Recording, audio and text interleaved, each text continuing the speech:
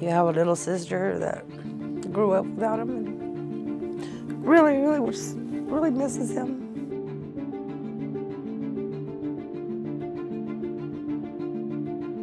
You have to look into the family members. You have to look into the people that were involved with all of this. And I don't know how much interrogation they did on these people, but the kids just didn't fly off the air. We didn't have more reports of other kids being missing, of other kids being, you know, sold or traded. We just had the Sena kids. That's it. And where are the Sena kids? Mike Cordova. Mike Cordova was dating Frances, who is Billy's mom. Mm-hmm. It was no sooner than she left him that all this happened too. Albuquerque police will be at 7 Coors Southwest with Michael Cordova. Let's keep going on these theories. Let's go. Looks as if the family could have been behind this. This is number eight. This is number eight, This yes? was the neighbor. This is the big one. You know, maybe that guy that did come to our door was the person who, who took them, and God knows what he did with them. We promised you that we would bring something to you. Whatever we found, whatever we discovered, we were going to bring it to you. So we did another interview. Here's a sketch that he drew. Everyone, I'm Crystal. I was a TV news reporter and anchor for more than 15 years, covering stories of remarkable people, tragedies that turned into heartbreak, and stories that are now part of history. But there are some stories that just stick with you. Wait, how many missing persons cases do you believe you have? Every year, tens of thousands of people are listed as missing. Can you see how we've come so I called in the expertise of my longtime friend, retired detective, now private investigator Lewis. No, I don't believe that. I really don't believe that. It,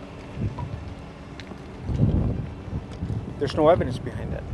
You know, Together, we're diving into cases that sit untouched for years. Like maybe they missed something. I feel they focused too much on him. I think so. And it may not have been him the whole time. and hitting the road. All right, you ready? Farmington, here we come. Along the way, we'll talk to those left behind She was wonderful. She was my older sister.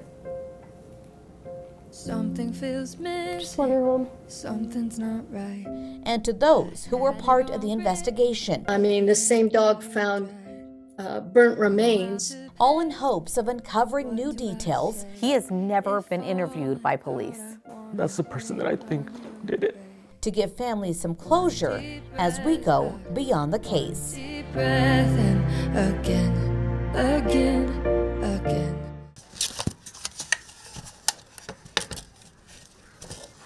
Okay, and I go all the way. Three, two. Hey everyone, welcome back to Beyond the Case. I'm Crystal. I'm Lewis. Welcome to our headquarters. We're in our office this time around. That's right. This is where we actually do a lot of the gumshoe work, a lot of the investigative pieces, and a lot of the back and forths on these cases. Arguing. Sorry. As you can see from our work, we have a lot of cases to investigate, but this is our epicenter of Beyond the Case. Right. And this week we are digging deeper into the disappearance of 11 year old Billy Sena and his cousin, 9 year old Mary Lou. They were last reportedly seen riding their bikes about a block away from their house. In the police report, officers searched vacant warehouses. They visited some of the homes of extended family. They interviewed some of them, and they even conducted two searches by cadaver dogs. And when we say some, it really is just some because we uncovered there's a lot of family members they didn't talk to back then. That's right. And this case has been alive since 1979. so right. this case is decades old, and we were having to dig really deep to kind of go back in time and uh, take a look at the steps that not only law enforcement did right, but some of the missteps that they did as well. Out of the nine theories that we've uncovered that you know police l- uh, looked into, we've actually debunked about six of them. Right. Right. Some of them were the railroad car, right, being That- stuck in there, Right? Also, that they possibly ran away. right. Uh, that they were seen in an apartment by uh, some witnesses. and that two teen preteen boys, I should say, found a severed head inside a ditch. That was all debunked. So, We're scrapping those out. We're Right. down to three. That's we're down to three. Does include one of the kids who lived right near Mary Lou had something strange happen to them uh, just days after the kids disappeared. He contacted police in 2014. Police never did a full interview with him, but we did. And then we also found information that has never been reported uh, back in 1979. If you've not watched episode one yet and you're trying to figure out what we're talking about, go watch it right now. If you have, get ready for episode two. Let's go. I've been trying to look for all of these things to hold on to, but I do think it's it's interesting though that like this could be the turning point in this whole case. I hope so.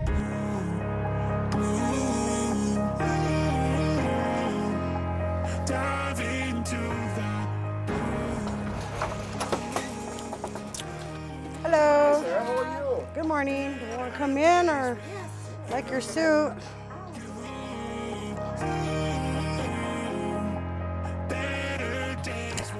Yeah, and that's got to be hard. Mm-hmm. Especially you already dealing with the loss of your brother.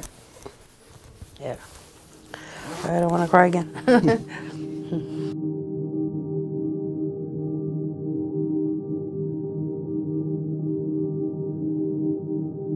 Without him in my life, I mean, he was my protector, you know. He really was. And I hate to say it more than my mother, you know. We promised you that we would bring something to you. Whatever we found, whatever we discovered, we were going to bring it to you. So we did another interview. Here's a sketch that he drew. So we need to break it down. Who are we looking at? All correctly, Phyllis was watching them, Mhm. right? Uh, Phyllis was watching the kids, uh, and she did not have a, any clue of what the, ki- the kids were. The last thing she reported was that they were riding their bikes. Right. They were riding their bikes, and and as if you recall down the uh, in the reports, the post office is that the kids were seen riding their their bicycles by the post office. That was the last the last place they were seen here in Albuquerque. Whoever is responsible for their disappearance could help lead us to where the kids are. Yes. So you, we really need to focus on that. Who do we think could have possibly have been behind this? We don't think they ran away. So let's go with what we're left with. So we're down to three. Where do you want to start? Mike Cordova. Mike Cordova was dating Frances, who is Billy's mom. Mhm. Okay. When she finally decided to get up and leave him, it was no sooner than she left him that all this happened too.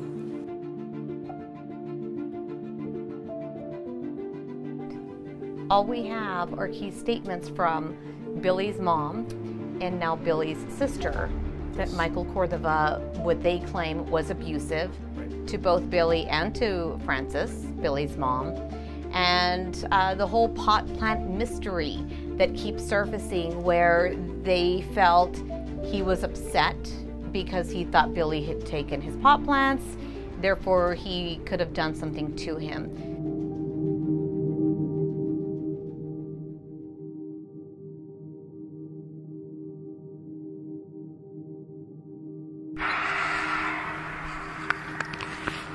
Wednesday, April 4th, 2012. Time is about 1328. Detective Lewis, Detective Torgerson, Albuquerque Police will be at 7 Coors Southwest with Michael Cordova. Hello, Bobby. Hi, Bubba. I'm Rich Lewis. Wet. All right. All right. All right. This is Dan Torgerson. Nice to meet you. Mike is, um, we're looking into the disappearance of the Sena children back in 1979. And I guess, as far as I can tell from the, um, investigation, were you ever talked to by police? Okay, do you know, remember, did they take a statement from you or? You know, it's been so long that I can remember what it was about. It was just mainly asking some questions. What happened? Okay. Because there's nothing in the uh, old case file. Uh, in fact, Did, there's a did note they here that ever find those? Yeah, we never found it. Still still looking. We've done some recent searches. We're trying to do some more follow up on them. So, were you Why don't you tell me about your relationship? You were dating Frances at the time? Yes, yes. And Frances is Mary Lou's biological mother? Or is it Billy's biological mother? Billy's. Okay. Tell me what you remember about the time. At the time, we were not, we were separated. Okay. She was staying with her, uh, a friend of hers, and she lived also on Westgate at the time. Do you remember who that friend is? Um, her name was, man, I, I can't remember her name. Tell me about your relationship with uh, Billy. Uh, Billy was a smart little boy, very smart. Did you ever have any issues with him, problems with him? No, never had a problem. Okay. Um, there's been a lot of allegations. In fact, Frances gave us a real detailed statement about a lot of abuse from you to Billy and Frances. Tell me about that. I don't think there was any abuse. According to Frances, it was pretty pretty abusive, and that's why she had separated and moved out. Does that ring a bell? No. It was according to Frances, and she's real specific, on the Tuesday before the kids went married, Hey, or hey. went missing, you came home and you physically abused Frances. Frances and the children left. And then the following day, she and the children came back to get her property, and that's when Billy took some of your plants from your marijuana grow in the backyard. Does that ring a bell? Yeah, I did have plants back there, but uh, I don't know if that was the case or not. And then you contact Frances and you confront her about the theft of the plants. And that's Thursday before the kids get missing. And you know what? Those plants were missing when we had gone to Las Vegas. Okay. And we'd come back. And so it, it, it was not even, I don't know where that came from. Okay, that's from her statement. Do you know why Frances and Sarah would have made statements like that, that you were so abusive You know, to Billy? I have no idea, and I don't know if those statements mean anything as far as what, what we were trying to get at. I have no idea. Okay. So it's your recollection today that you were never abusive physically to Well, I mean, Frances we, or we, Billy? we all yell at each other and stuff like that. You know, we get an argument like that, but that's that's how we usually go. You ever have to strike Billy? Do you know what happened to the children? No, I don't. Okay. Have you, and you remember speaking to the police back in 1979? Yes, I did. Okay.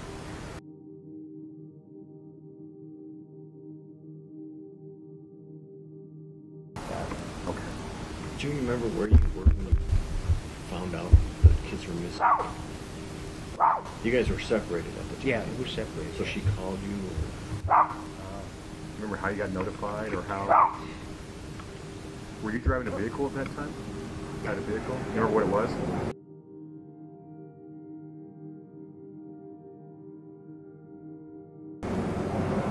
Would have been a Pinto, or, yeah, or maybe a Ford Pinto, maybe. Pinto? Or what color? A cream colored Pinto. I'm sorry, cream? Yeah.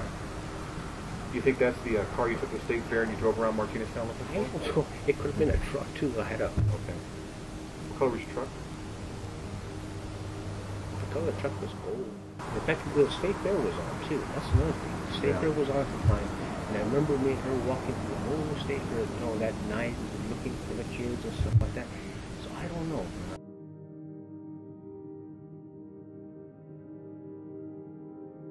You know, that, that idea when they said about going to Mexico or something like that, so you know, taking them over there or something like that, that always kind of, kind of thinking maybe something like that, where they, they, they wanted to get away. You know how kids are when you're a young kid, you want to run away and stuff like that. Um, maybe, I don't know, just part of the thing. Had Billy told anything or said anything to you about wanting to run away or having problems with Frances or having problems at school or anything like that? That made you believe that he would have left like that? I don't think we were left. How about Mary Lou? Did she ever say anything I didn't know Mary Lou that well. You know, she was a bright little girl, about the same age, about the same size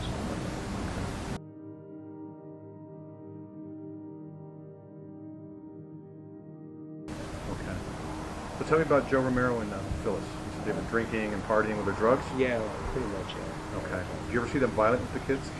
No, no, they were really good people. kids.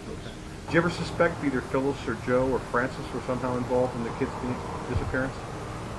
No, because uh, Frances was, I mean, they were, they were babies, you know what I mean?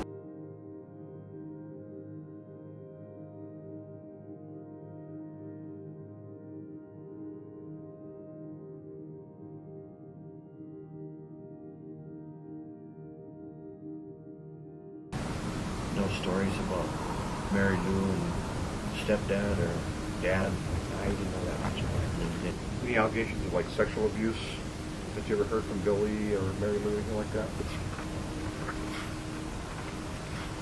Anything else you can think of, Mr. Cordova, that would help us? I don't think he was he was the main source behind this disappearance. I, I do have to see this is a this is an interesting theory because I have to say that because there was this sort of you know this cent there's just focus on him. You know, they're just centered it on Mhm. him that they might have missed other stuff. I 100% agree. I think it was too focused on him at the beginning. But there's more. But if they were so, inf- you know, they were so focused on Mr. Cordova, they never got a statement from them, or at least Right. there's not a statement in the police reports. I have to say the second theory is family. Right. And I don't feel they really pressed family in this case at all. Right. After all this time, who do you think did it? what do you think happened? Give me a second here. I really, really have a big uh, thing about my uncles, you know, because they were perverts. You know. I've had give me hugs and put their hands in places they shouldn't be, you know. So yeah, I, it was a great possibility. We've been we've been looking at this case and it feels that everybody we're talking to is pointing towards the family. The family was very dysfunctional. Uncles, right?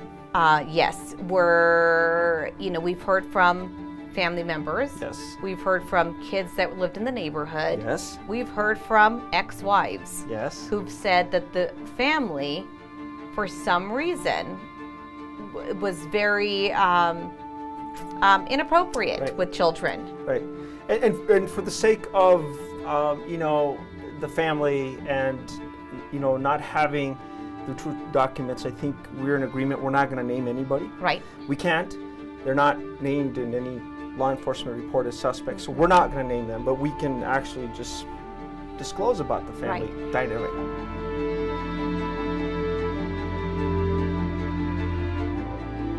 A lot of times, in my experience, when it comes to familial sexual abuse, it gets buried very, very deep in the family, in the dynamics of the family.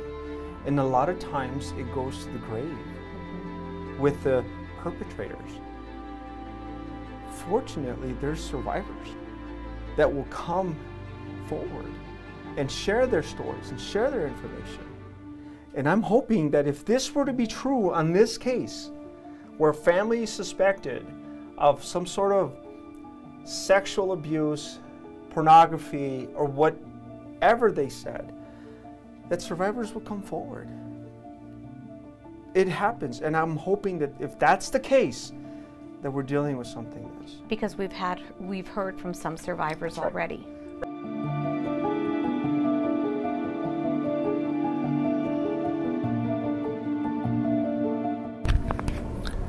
Monday, April 30th, 2012. Time is about 1300 hours. Detective Lewis, Albuquerque Police Department at the Metropolitan Detention Center. Interview with Sena. And the case working now is involving Georgia. Yeah, that's good. Um, Billy and Mary Lou. Oh, that's my sister. Yeah. And I'm wondering, would you talk to me for a few minutes about that? Um, like you know, we've been trying to find your kids since 1979. You okay?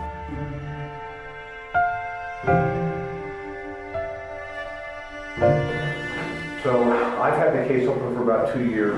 Um, I've searched the property out on the mountain a couple Yes. times. Um, we've done some other searches trying to find the kids. And I'm wondering, so I'd like to ask you a couple questions. Okay. Tell me about that day, what you remember about that day. Yeah, it's been so long. I knew that I came back from my friend's house and I went home. I remember my mom telling me to go look for them, to go see where they're at. And my brother says, well, they might be at their friends, they're playing with their friends over there at the post office, so we went over and we didn't find nothing. So you went down by the post office and the store and you started looking for them? Yes. There's been, I've heard all kind of rumors about their bikes. Did anybody ever find their bicycles that day? I'm, that's what I'm, I don't, I remember they had bikes, but I can't, I can't remember about their bikes. Do you remember them seeing around the house afterwards? What do you mean after house? Did you see, you know, what, did they come, ever come back to the house? I mean, the bicycles, the bicycles. I, I don't even know. I don't even remember the bicycle. I don't know.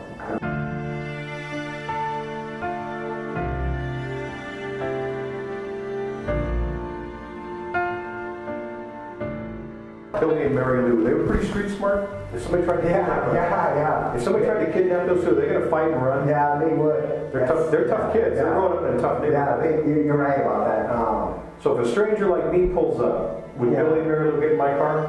they wouldn't just get in because, uh, yeah, they would. They would. They wouldn't just, you know, They're not- enticed by money or candy or anything. They're not dumb. No. And they knew the streets. They, yeah, you know I mean, at that young age, they were, you know, around the neighborhood, yes. Which always led us to believe that it was, you know, in these cases historically across the country, it's usually 99% stuff. Somebody, yeah.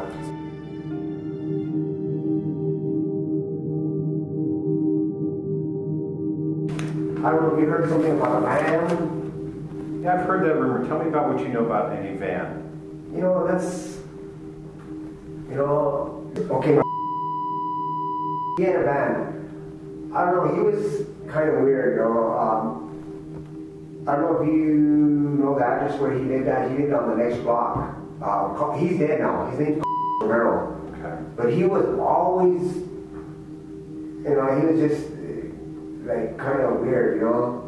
And I, I told my mom about that, and she was like, I don't know, I know this and that. And uh, I always thought something about that man. You know what I mean? Okay. What color was the van? At that time, it was like a like a like a uh, blue turquoise. Why did you did you hear anything, or did somebody were there rumors? Why why did the band come up? I don't know. It's just because um, I remember I went there one time and he was always watching dirty, dirty flicks. You know what I mean? Yeah, and then and then um, his son and daughter, they were always. Uh, I think I don't know. I think for some reason I think they were sexually abused. I'm you know and I'm just. You think I'm the not- kids were Yeah, they're kids. You know. Okay. Yes.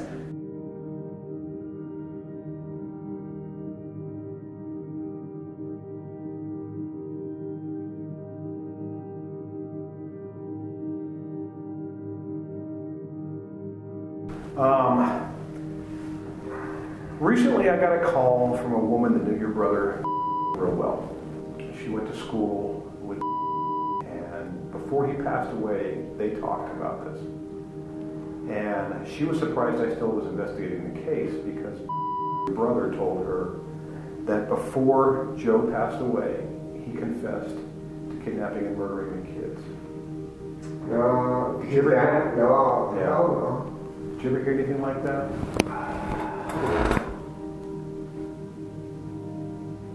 Did your brother ever talk anything like that? No, my brother would have told. He would have told me. My brother, me and my brother like this. Okay. But he couldn't do that. He wouldn't do that. He, there's, there's no way. It's. I don't know what that girl said that. Why or, or she wants. I don't know. She doesn't really want anything out of it. She was just yeah. when she moved back to Albuquerque recently. She was she saw online that we were still investigating the disappearance, and she called. and She thought that she just was. I'm really surprised you're still with Somebody else. And I said, Why would you be surprised? We're still looking. She goes, Well, I knew the family.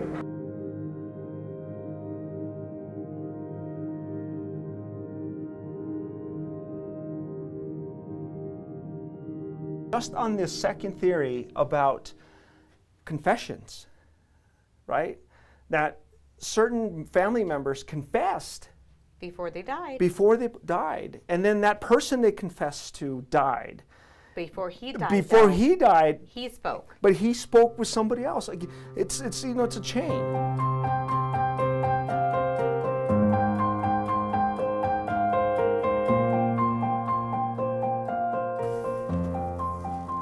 All right, the Sena kids. Okay.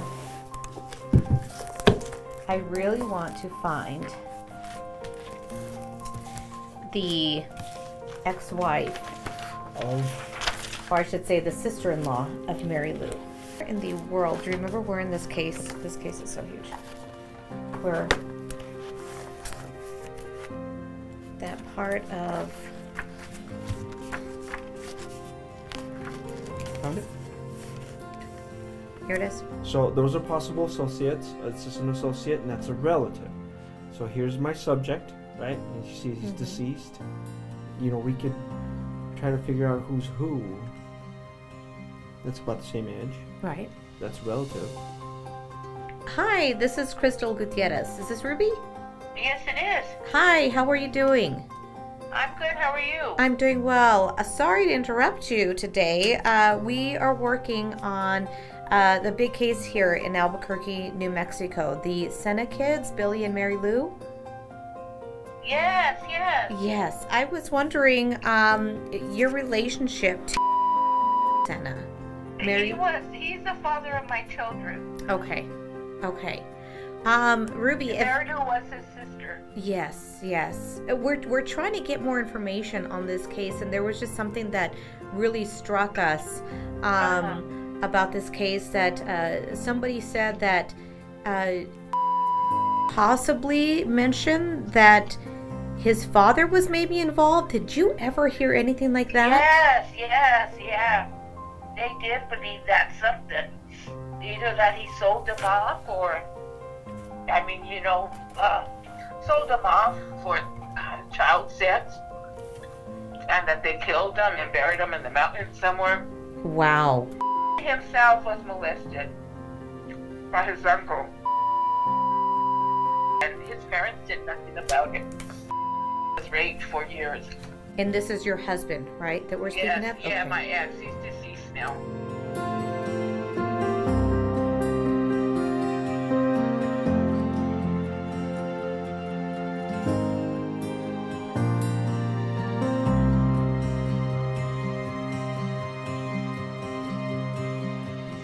You want to move on to the third one? have a neighbor that came forward Mhm. Back in 2014 contacts albuquerque police Yes. he tells them something strange happened to me and my family That's right. he was a child at the time somebody came to his home and tried to get in a man Mm-hmm. we spoke to him Yeah, we did. and what he told us was knows? What if somebody else in that neighborhood had a similar story that happened within days after the Sena kids went missing? If his story is a missing link to the disappearance of these kids, well, we'll never know unless we talk to him, right? Hi, how are you? Thank you so much for talking with us. Um, we won't take too much of your time, but we want to get your story out there just in case somebody else had a similar story. You ready to talk with us? Yes, sir. Let's sit down and talk. Just for security reasons, we are not going to be using your actual name for the interview or at all during this, this um, episode. We'll be using Miguel, okay? Okay, so let's just start um, with how old were you? I was only seven years old, maybe about to turn eight. Then I'm back in '78. Yeah, so I mean, I I just remember just playing with you know with Mary Lou, her brother Billy, and the and her other cousin Billy that Mhm. disappeared. I think we're a couple of years uh, apart though. So you guys were really good friends then? Yeah, well, they used to live like um, we lived in the apartment in the front, and there was a field, and then they lived in the houses that were in the back. Okay. So how close did you guys live? Would you say maybe Um, with feet, feet apart, maybe about uh, not even a 100 feet. So how often would you guys play together? Uh, we played often because uh, their cousins lived two houses down from us. So you know we'd all get together and we'd go play at uh, the Sears warehouses where you know where the rail yard is right, right there, and we'd jump in the rail cars and just you know have a blast when we were kids. You would jump inside the rail cars? Yeah. Wow. Some- yeah, we would get stuck in there sometimes. Okay, okay, that's interesting that you say that. Um, and we'll talk about that in just a moment because that's just bringing up a lot of questions for me with this investigation that we've been both just diving right into. Um, I want I want to take you back to the day that you found out that Billy and Mary Lou went missing. What were you doing? What were you supposed to be doing that day? The day that they went missing, they had come to our house to see if we wanted to go play hide and seek at the at the post office, which like now it's like totally changed. You know, they used to have grass on the north side of the of the of the post office, and we'd play football there. We play uh, uh, hide and seek. And, you know, sometimes we just go to Manuel's store that was right across the street and buy candy and just sit in the grass and you know just mess around all day long. The day they went missing, you were supposed to be with them? Yeah, we were supposed to go and play at the at the post office with them, but my dad didn't want to let us that day for some reason.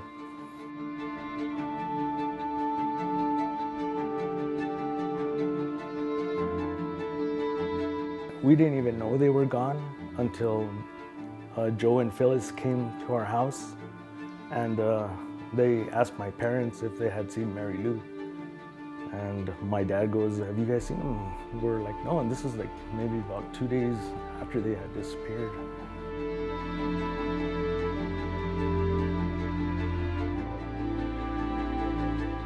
So let's talk about three days after the kids went missing. What happened to you and your siblings?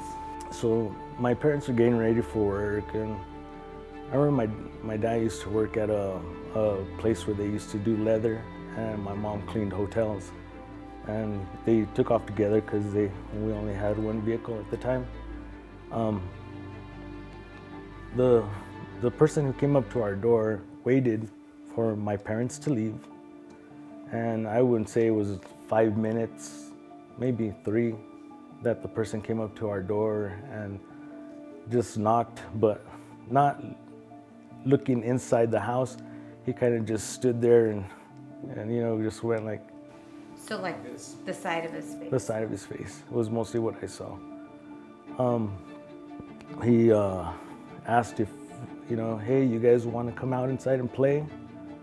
And um, I looked because we had a curtain that covered the window, and I looked out the window, and I was like, I don't know this guy. And my sister, one of my sisters, like actually started crying. So my my next to oldest sister went and put her hand around her mouth so that he wouldn't be able to hear us. And um, at that point, he just, uh, you know, he kind of went around our house, and there was a, I remember there was a big green door that we just would lock with a nail, you know, because you know back then we are everybody felt safe, and um, I put a, a chair against the the doorknob, and the person who went around the side started. He pushed maybe two or three times, couldn't get in, went back out, walked through um, our neighbor Adelita's uh, property and walked all the way through the, the field where the New Mexico Workforce Solution is now. And I never saw that man again. Have you? Did you ever see him before that day? Was there something that you thought I might know him? I the, the only thing that I noticed that was kind of weird is that he had his hair like Joe's. He had it long, had it pulled back in a ponytail.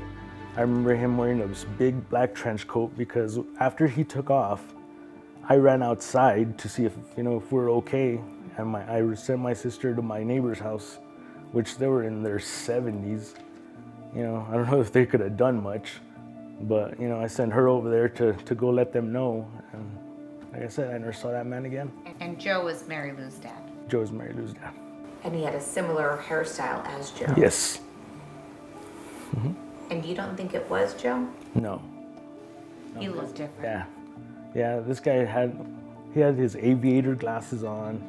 I remember those. Remember his his he had like big earlobes.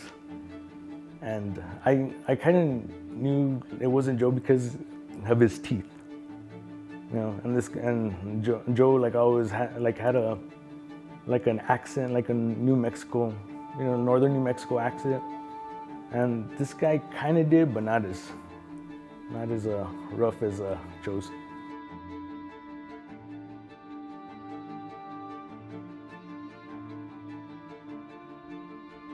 What was kind of like weird is my little sister kind of resembled Mary Lou in a way. So Joe and Phyllis would come just to you know remember what their daughter. Sorry. It's okay. And uh, you know they'd be like mijita, mijita, you know just holding my sister, just wishing that, you know, they had their daughter back.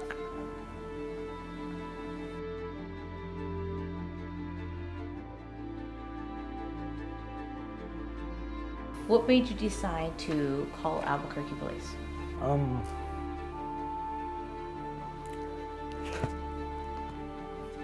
sorry, it's just like, you know, because they're my friends, so kind of gets me.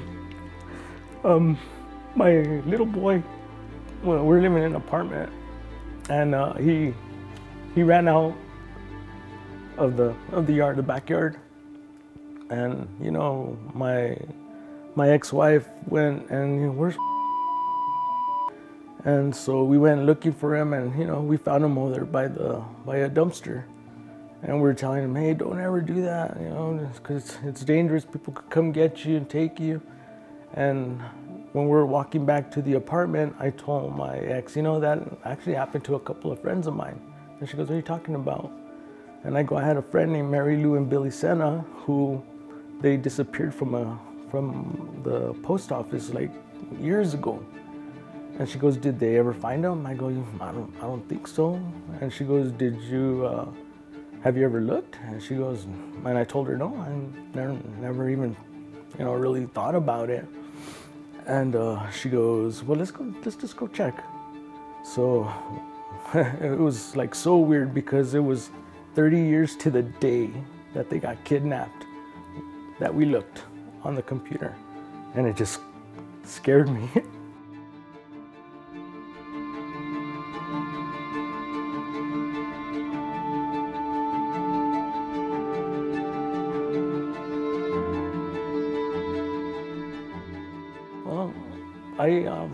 I tried to contact them again after you know, if, let's see if they had said anything to Billy's sister, and they had told me that they had turned over the case to some other detective.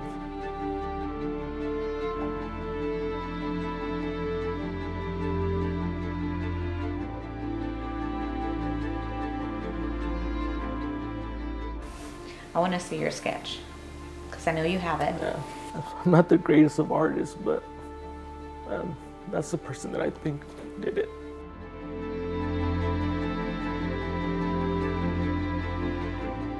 What distinguishing features, if you could point at them, really stood out for you the most that day? First, you know, his like I said, his his aviator glasses, because not a lot of people wore them. You know, it was like they like they were like mostly had money and stuff like that, and I never seen anybody wear those but that guy. Um, his his ears, he had big meaty ears.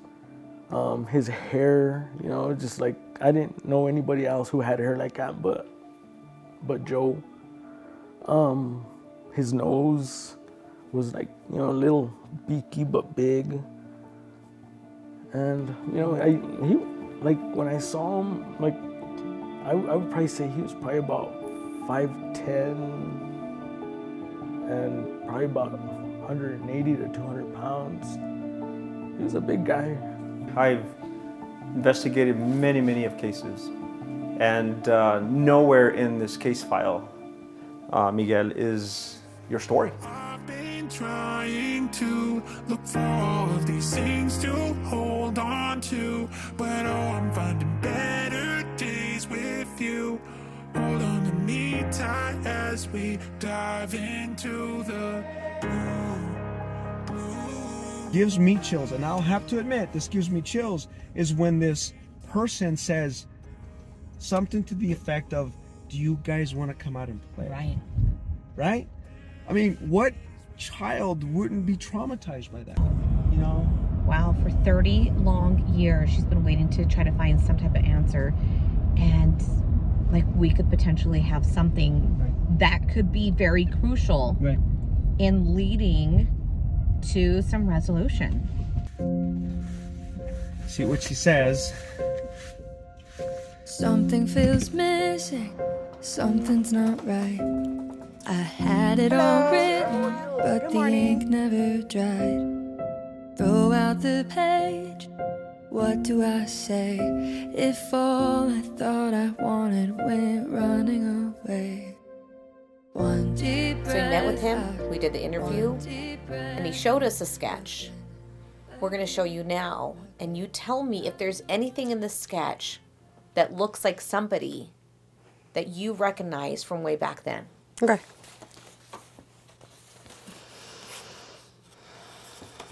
Here's a sketch that he drew. Lewis went and blew it up. It doesn't like strike a bone where like, oh, you know, nothing like that. No. Mike didn't look like that.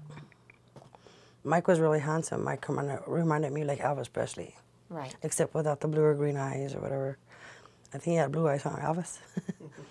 but um, yeah, I can still see Mike's face in my head. Not perfectly that I could even draw up a sketch, but pretty close. Like I said, more leaning on the Elvis Presley side. So this does not look like Michael Cordova. No. And he doesn't think it does either. Okay.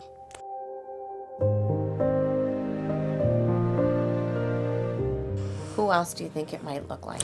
in the family and nothing. I mean, it could be a total stranger. For all I know, um, the sketch to me looks more pachuco, you know what I mean, cholo type of a guy, and it does not ring a bell. No. No.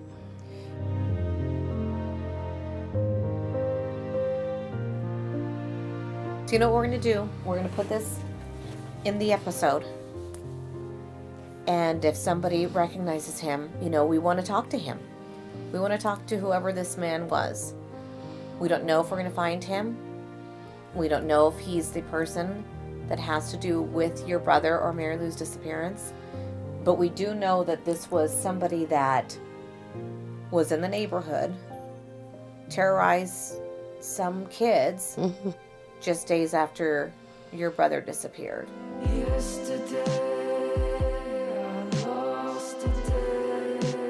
People say, oh, I don't believe in God and all that stuff. We can't exist if there wasn't a God. And I know I'll see him someday. I'm sorry. No, it's okay. Take your time. This is going to be shared with so many people. I know. And before I let you go, and you know, we, we go and leave, and if there's any further tips that come in, we're going to come right back here. And we're going to talk to you again. Okay. Um, is there anything that you would want to tell somebody out there who may be watching it that knows something? Just to please come forward so we can have closure. I mean, maybe just me because everybody's gone. You know, my mom's dead now. My dad's dead now. But I do have family members that are, are rooting for some answers.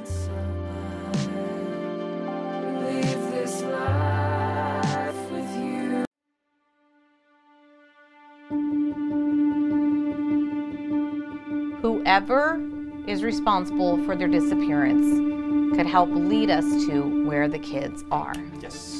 There are groups of people who do nothing other than find ancient graves, and we've we've done that work. Portion of the dirt that was collapsing and was kind of uh, compressing while you were doing that? Yeah, it was, it was that's what I said. I got like some, you know, like you know, you know, you get like chills all over your body, you know, run up your neck and stuff. Maybe someday we could. I was thinking about like maybe we could make like some type of shrine or a bury, a burial place, just something to remember him. People get to visit their dead family members at the cemetery. I can't do that.